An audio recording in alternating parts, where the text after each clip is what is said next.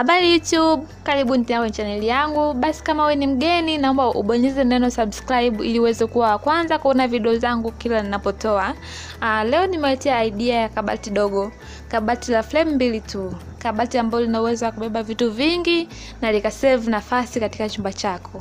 Hii ni kwa wale ambao mmeenda kuanza maisha au ambao mmeenda kupanga sehemu na hamtaki chumba chako kiwe kina vitu vingi, hautaki kununua kabati kubwa la vyombo.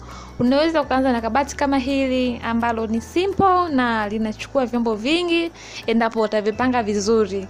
Basi ungana nami mwanzo mpaka mwisho nikuoneshe idea nzuri kama hii, na ushie kwa marafiki zako pia waje waone na waende wakachongeshe kabati hii ya kuning'inia ukutani.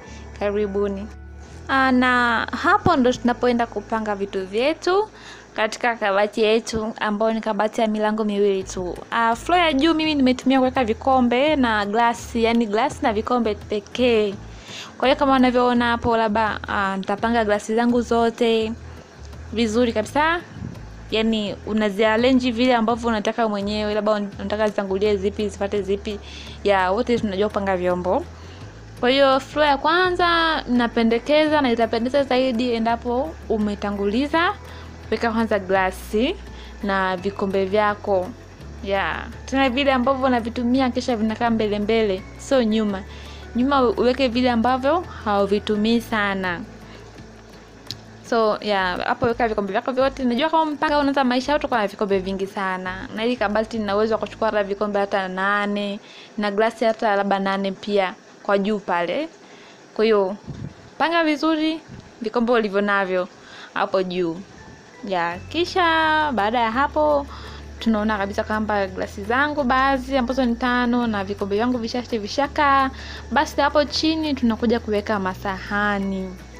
Najua ya unaweza kuweka masahani mengi uwezavyo unaweza kujaza hapo ukaweka ukaweka juu mpaka, maana nafasi kwa juu bado ni nyingi, na bakuli kama wanayo basi utabadilisha hapo kwa juu juu hapo hapo, kisha tunaweka vitu necessary. Kwa mfano mimi hivi ni hivi vibenda vibakuli vidogo vidogo vya blender cha kusagia nyama na viungo, nimeamua nivipanganisha hapo. Sema wewe kama una kitu kingine unaweza ukaweka ana vijiko pia, make sure umeviweka kwenye kichombo kizuri. Kama hapo nimetafuta hicho kidude hicho, nikaamua niweke vijiko vyangu humo ili niweze kusave nafasi ya na ni vijiko vyote vimekaa na visu vyote vimekaa humo. Kabati inavutia, ni very simple Yaani ni idea ambayo ni nyepesi sana, na kama unaanza maisha basi tumia idea, sio unakuwa na kabati kubwa kwa lina hata vyombo. Unaweza kuanza kama hivi. Huko pembeni kuna misumari ambayo nigongelea juu miwili na katikati miwili.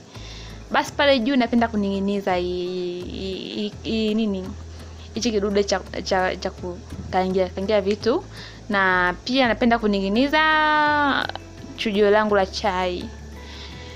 Ya hapo juu vinakaa. No, na vitu vyote muhimu vinakaa katika kabati lako, sio mpaka ina na kabati kubwa.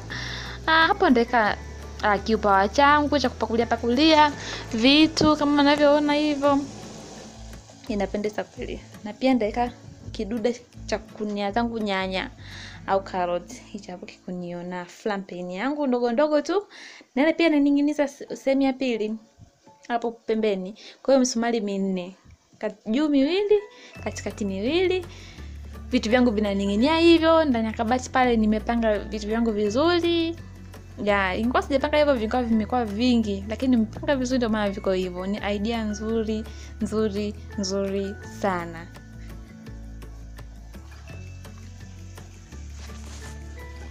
Pia unaweza kutengeneza bandefu kidogo kutokana na wingi wa vyombo vyako lakini mimi nimetengeneza ndogo tu kama hivyo mnavyoiona, kwa sababu vyombo vyangu ni vichache.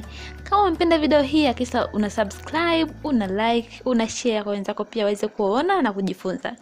Asanteni na kwaherini.